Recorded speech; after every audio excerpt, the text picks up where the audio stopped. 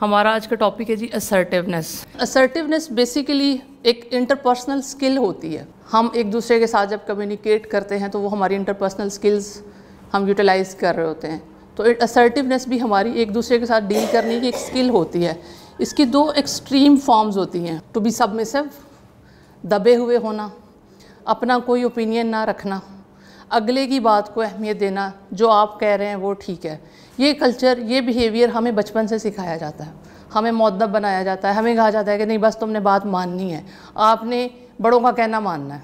So we learn from the beginning कि हमने बस मानना है। हमने सबमिट करना है। हमने जो वो कह रहे हैं, उसकी अतात करनी हमने सब में से होना तो वो करते करते जब हम ग्रो कर जाते हैं, जब हम इस स्टेज पे आ जाते हैं कि हमारा अपना डिसीज़न होना चाहिए, हम उसी लर्नड बिहेवियर के साथ चल रहे होते हैं। तो हम सब में से होते हैं कि आप जो कह रहे हैं वो ठीक है। अपनी ख्वाहिशात को, अपने ख्याल को, अपने आइडियाज़ को, अपनी नीड्स को हम पीछे कर लेते हैं। दूसरे को हम आगे कर लेते हैं। दूसरा can be our boss our family our husband our wife हमारे पेरेंट्स, वो कोई भी हो सकता है, वो जो दूसरा है, वो जो कह रहा है वो ठीक है। हम ये सोचते नहीं हैं कि मैं क्या चाह रहा हूँ। ये एक सबमिसिव बिहेवियर होता है। उसकी अपोजिट फॉर्म जो होती है, वो एग्रेशन होता है। एग्रेसिव बिहेवियर होना। अगर आपने बचपन में देखा होगा आपके घर में वाले साहब या कोई भी फैमिली मेंबर जो है, वो गुस्से से डांट डपट के, लड़ झगड़ के अपनी बात मनवा लेता है तो आप वो बिहेवियर सीख लेते हैं।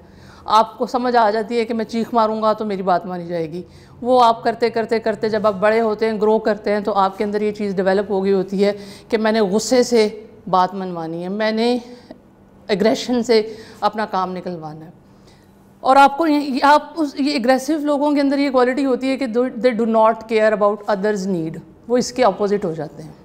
उन्हें नहीं पता होता कि दूसरा क्या चाह रहा है। वो सिर्फ़ ये सोचते हैं कि मैं क्या चाह रहा हूँ। मेरे, मुझे क्या चाहिए? जो मैं चाह रहा हूँ वो ठीक है, जो दूसरा चाह रहा है वो गलत है। वो नहीं होना चाहिए, जो मैं चाह रहा हूँ वो होना चाहिए। ये बिहेवियर हमें ऑफ़िस में भी मिलेगा, घर में भी मिलेगा, दोस्तों में भी मिलेगा। तो हम इन दोनों एक्सट्रीम्स के दरमियान में एक बैलेंस जहाँ क्रिएट करते हैं दैट इज़ कॉल्ड सर्टिवनेस कि हम किस तरह से सबमिसिव हुए बग़ैर अपनी नीड्स अपनी फीलिंग्स अपनी रिक्वायरमेंट्स को कन्वे भी करें और एग्रेसिव भी ना हों। दूसरे की फीलिंग्स और उसके ख्याल का, उसकी ख्वाहिशात का ख्याल रखते हुए, यानी हमें इन दोनों के दरमियान में कहीं आके एक बैलेंस स्ट्राइक करना पड़ता है। हमें सबमिसिव से निकलना पड़ता है, लेकिन एग्रेशन से बचना पड़ता है। आप अपनी बात को मनवाएँ, लेकिन without being angry without shouting without yelling झगड़े बगैर, लड़े बगैर। तो ये जो दोनों चीज़ें हैं, ये हमारी सोसाइटी में ज़्यादा पाई जाती हैं, क्योंकि हमें असर्टिवनेस कम सिखाई जाती है। हमें ये कम सिखाया जाता है कि विदाउट फाइटिंग आपने अपनी बात मनवानी है। हम दो बिहेवियर जो सीख लेते हैं, उनके साथ हम चलते रहते हैं तो हमें ज़रूरत क्यों है असर्टिव होने की? पहली बात ये कि ये बिहेवियर हमें नुकसान दे रहा है। आपको, आपका बॉस आज कह देता है, हम पुलिस वाले हैं ना तो हमें अक्सर इस तरह के ऑर्डर्स मिल जाते हैं। फ़लाने बंदे को छोड़ दो, फ़लाने को पकड़ लो, फ़लाने को ये कर लो। तो हमें उस वक्त अगर हम सबमिसिव नेचर के मालिक हैं तो फिर हम हर बात पे यस बॉस हम अंदर से नहीं भी करना चाह रहे और हम कहें यस बॉस यस बॉस तो वो हमें तकलीफ़ देगा, वो सबमिसिव बिहेवियर और अगर और अगर एग्रेसिव होने का हमारे पास टू वर्ड्स अ सीनियर तो ऑप्शन ही नहीं होता ना, कि हम एग्रेसिव नहीं, मैं नहीं कर रहा। लेकिन हमें फिर असर्ट करना होता है। हमें बताना भी है कि ये क्यों नहीं हो सकता, मेरी क्या लिमिटेशन है और हमें वो काम भी करना है जो हम करना चाह रहे हैं, जो हम समझ रहे हैं कि ठीक है। तो असर्टिव कैसे हुआ जाए? ये एक स्किल चूँकि ये एक स्किल है तो हम इसको सीख सकते हैं। नेक्स्ट क्वेश्चन है कि अगर ये एक स्किल इतनी इंपॉर्टेंट है वेस्टर्न कंट्रीज़ में लोग असर्टिव होते हैं। वहाँ पे सब मिसिव नहीं होते, वहाँ पे उनको एग्रेशन नहीं सिखाया जाता। तो हम, चूँकि इस सोसाइटी में भी हम एजुकेट हो रहे हैं तो हम कैसे इसको सीख सकते हैं? ये चूँकि एक स्किल है इसको सीखने के लिए सबसे पहले हमारा जो मोस्ट इंपॉर्टेंट स्टेप है, वो ये है कि हमें पता हो कि हम क्या चाहते हैं। नो योर सेल्फ आप अपने आप को जाने। आपकी फीलिंग्स आपकी नीड्स आपकी डिज़ायर्स आपकी डिमांड क्या है? आप उसको पहले पहचानें। अगर आज रात आपको आपकी कोई रिश्तेदार खाने पे दावत दे रहे हैं तो क्या आप विलिंग हैं? क्या आपका टाइम आपको इजाज़त दे रहा है? तो आपको अपने बारे में जानना सबसे पहला स्टेप है कि आप अपने बारे में जानें कि क्या ये चीज़ मुझे सूट कर रही है।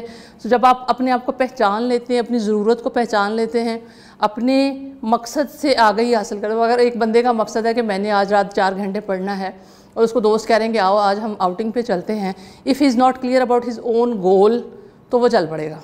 अगर वो क्लियर होगा कि नहीं, मेरा तो अपना ये मकसद है, मैंने तो अपना ये टाइम इस काम के लिए रखा हुआ है तो वो उनको बड़ा अच्छे तरीके से रिफ्यूज़ कर सकता है। So so first of all you should have your own some goals objectives आप जानते हो कि आपने अपने लिए क्या प्लान किया हो। आपने अपना टाइम किस तरह से प्लान किया हुआ है।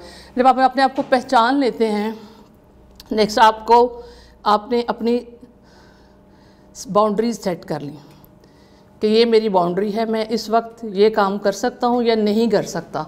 आपने अपनी बाउंड्रीज डिफ़ाइन कर ली अपने आप में। कि ये मैंने कर लिया now the next stage is very critical that is to communicate आपने उसको कम्युनिकेट कैसे करना है? क्योंकि इसमें असर्टिवनेस में सारा के सारा हमारा जो फोकस है, वो कम्युनिकेशन पे है। आप उसको किस तरह से कम्युनिकेट कर पाते हैं? ये आपकी दोनों तरह से होगी। वर्बल एंड नॉन वर्बल हम इसको दोनों कॉन्टेक्स्ट में देखेंगे सबमिसिव और एग्रेसिव के कॉन्टेक्स्ट में, कि जब हम सबमिसिव होते हैं तो हम कम्युनिकेट भी उसी उसी बॉडी लैंग्वेज के साथ करते हैं। तो अब जब हम असर्टिव हो रहे होंगे तो हम वर्बल भी बॉडी लैंग्वेज भी हमारी कॉन्फिडेंट होनी चाहिए। तो फ़र्स्ट ऑफ़ ऑल हमारी हमारी जो लैंग्वेज है, हमारे जो वर्ड्स हैं सिलेक्शन ऑफ़ वर्ड्स है, वो बड़ी कॉन्फिडेंट होनी चाहिए कि नहीं, मैं ये नहीं कर सकता।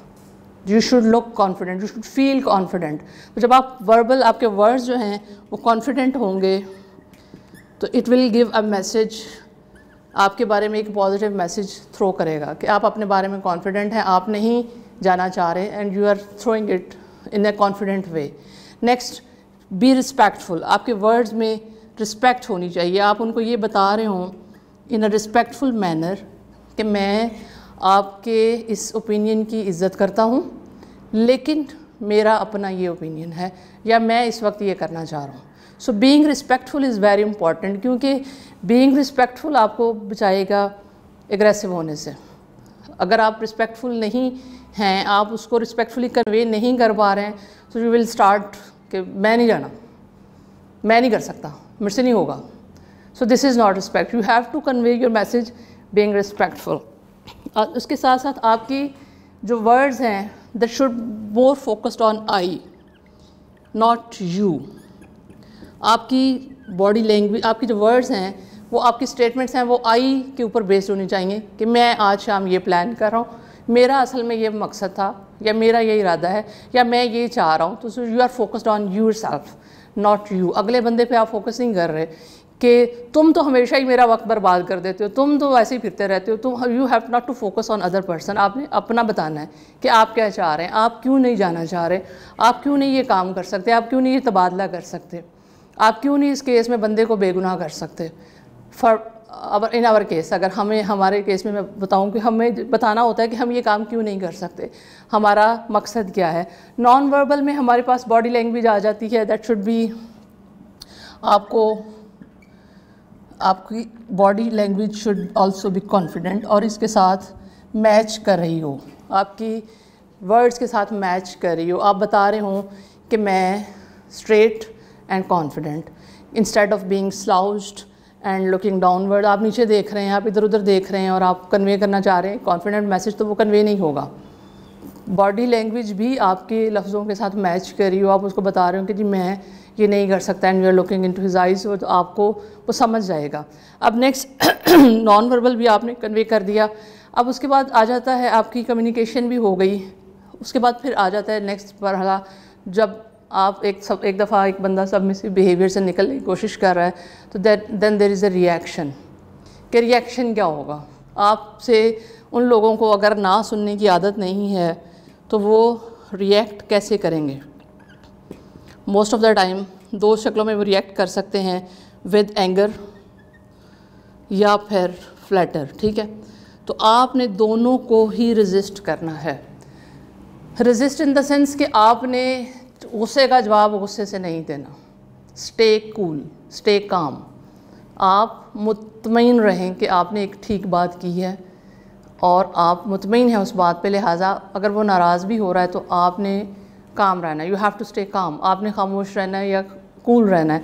इस चीज़ से उसको थोड़ा वो टाइम मिलेगा रिस्पॉन्स करने का। जब आप आगे से गुस्से में नहीं आए, वो जो टाइम मिलेगा, वो उसमें सोचेगा कि आप अपनी बात पे कायम हैं और वो शायद आपने कोई ठीक बात की है और आप लड़ने के मूड भी नहीं हैं। आपने उसको कोई गुस्सा दिलाने के लिए ये काम नहीं किया है। बेसिकली यू आर फर्म आप फर्म होते हैं, आप स्टैंड करते हैं अपने उस ओपिनियन के ऊपर। तो आपकी जो फर्मनेस है वो उसके रिएक्शन को थोड़ा लाइट कर देगी कि ये ही इज़ फॉर्म ये अपनी बात पे कायम है.